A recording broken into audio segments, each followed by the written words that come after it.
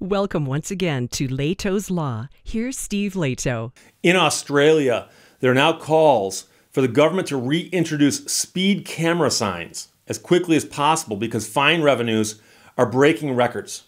And we've talked about speed cameras, red light cameras, and those kinds of things around America. And it varies from state to state which of those they have, if they have any at all. There's been some discussion of bringing them to Michigan, and if they bring them here, they'll be just as unpopular as they are everywhere else. But the question is, are the speed cameras that, that watch for speeders and then photograph them and send them a ticket when they're caught speeding, are those cameras, speed cameras, red light cameras, are they there for public safety or are they there to make money? Because that's the question. And the organization that's calling for this is the National Roads and Motorists Association, the NRMA of Australia. And this is an interesting argument and question because this is the exact same argument question you have in America. Do the speed cameras create more safety or just simply create revenue? So the NRMA, I'm guessing, is similar to the AAA in America, but they want to see speed camera warning signs reinstated following comments that changes would be coming shortly from people in the government. Jack Mahoney wrote this article, but apparently there used to be signs up saying, you know, beware, speed cameras in force. And so people would slow down because they'd see the sign and then they wouldn't get as many tickets by the speed camera because they saw the sign and they, and they were warned. And apparently they took those signs down, and suddenly revenue from the speed cameras skyrocketed. So the NRMA would like to see the warning signs for mobile speed cameras reintroduced as quickly as possible in the wake of record fines. Uh, the removal of signs before and after mobile speed cameras has been criticized by the uh, political parties here who admitted the government would be making changes shortly. And there's squabbling going on between the different political parties on this. We've been looking at and reflecting on the current policy. We'll be making some changes shortly. Uh, one of them said, the priority is saving lives and making sure we keep people safe on the road. So they're saying it's road safety.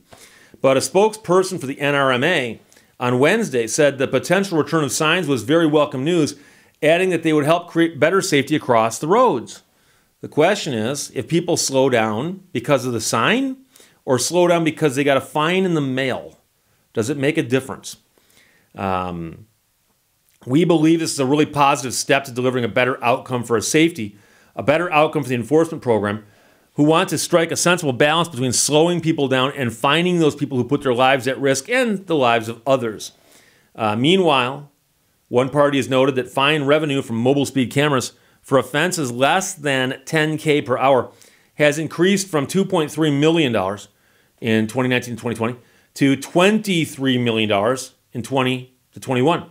They've gone up by a factor of 10, 2.3 million to 23 million dollars. Um, the um, the spokesperson for the National Roads and Motorists uh, Association has admitted the revenue that the government's raking in proved there was a problem with the system. Uh, but he said when you have a situation where you're in the middle of lockdown and traffic volume is dropped by as much as 70%, and you're breaking the record for the amount of fines you're issuing, obviously something is wrong and needs to be addressed. So people are driving less, but the amount of fines has gone up by 10 times. this is a clear indication that while cameras are catching people, the issue of slowing them down isn't working. The conversations to reintroduce the signs have come following an investigation into the impact and viability of unmarked mobile speed cameras. The investigation is working to figure out whether the decision to remove the signs was made to raise revenue or to save lives, and that is always the debate. And I know people who say, Steve, if you don't speed and you don't run red lights, why would you not like these cameras? And we pointed out, for instance, with red light cameras, they've documented this. There are cities that install the red light cameras, and to make more money, they shorten the yellow light. There are also red light cameras that will accidentally trigger if you make a right turn on red legally, meaning that you stop behind the line, you look both ways, you're allowed to make a right turn on red, no one's coming, you make a right turn on red. Camera goes off, up, oh, you went through a red light. You say I turned right. And then no, you went through a red light. And you now you can go to court and fight it if you want to. It's a pain, but on Wednesday, the premier responded saying that while he didn't want to see speed cameras simply become revenue raisers, the priority was creating systems to keep people safe. Think about the children, okay? Um, the guy from the uh, association said the reintroduction of warning signs would help motorists slow down more in dangerous areas. For the enforcement program to work, you need to have the cameras backed up with some sort of education to remind motorists that the cameras are there. And by the way, if you want to, put up more signs than there are cameras. Just put up a sign. Because theoretically, you know, it's being enforced by camera somewhere, right? To enable motorists to check their speed, to internalize their behavior while they're behind the wheel. The NRMA spokesperson admitted that record fines proved drivers were simply not slowing down. Well, that too. While cameras are catching people, the issue of slowing them down isn't working. There hasn't been that correlation between the record number of fines being issued and the behavior behind the wheel. So it would appear that they'd rather have you speed and fine you than to have you slow down. That's what some people are saying. The NRMA would like to see the speed camera signs back on the streets as quickly as possible, saying it was important to use every safety measure possible heading into the Christmas period. What we also want to see, and this is absolutely fundamental, is between now and Christmas, is to get every highway patrol on the road because highway patrols can not only crack down on the speeding, they can crack down on all forms of bad driver behavior. So I just I just don't like the idea of machines doing law enforcement. I've, I've seen that documentary uh, Terminator about what happens when machines um, do too much stuff and become self-aware, and I, and I fear that that that, that could happen. But I, I just don't like the idea about a machine doing law enforcement. I understand that if a machine takes a photograph and someone reviews it, that's there's there's human interaction.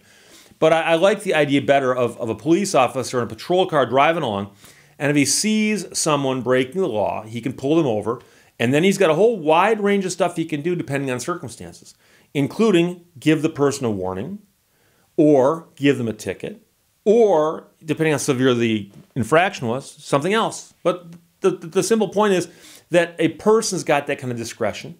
Now, I know some people are going to say, but Steve, you know something, it costs a lot to hire cops. I have better things to do. Yeah, but you know something, like I said, the, the, the idea that a machine takes a photograph and says you ran a red light, and you look at it and you know you made a right turn on red, but there's no one else there who can say yes or no what you did. And unfortunately, when someone comes into court and says, I looked at the photograph, the guy's tires were over the line, he must have ran the red light. And they also say, by the way, these machines shoot so many photographs and they've been calibrated and they're set by experts and all this technology went into it. People tend to think that machines don't make mistakes. They tend to think that, like, oh, you know, something measured this, they got a perfect measurement.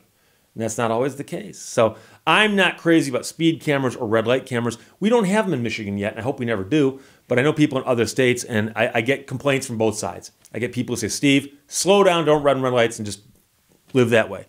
But other people go, Steve, these things are a nightmare.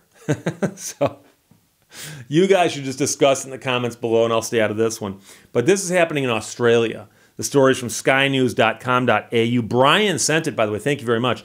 The NRMA calls on the government to reintroduce speed camera signs as quickly as possible because fine revenues are skyrocketing. Questions or comments, put them below. Let's talk to you later. Bye bye. Thank you for watching Lehto's Law. Life does not come with instructions on how to live, but it does come with trees, sunsets, smiles, and laughter, so enjoy every day.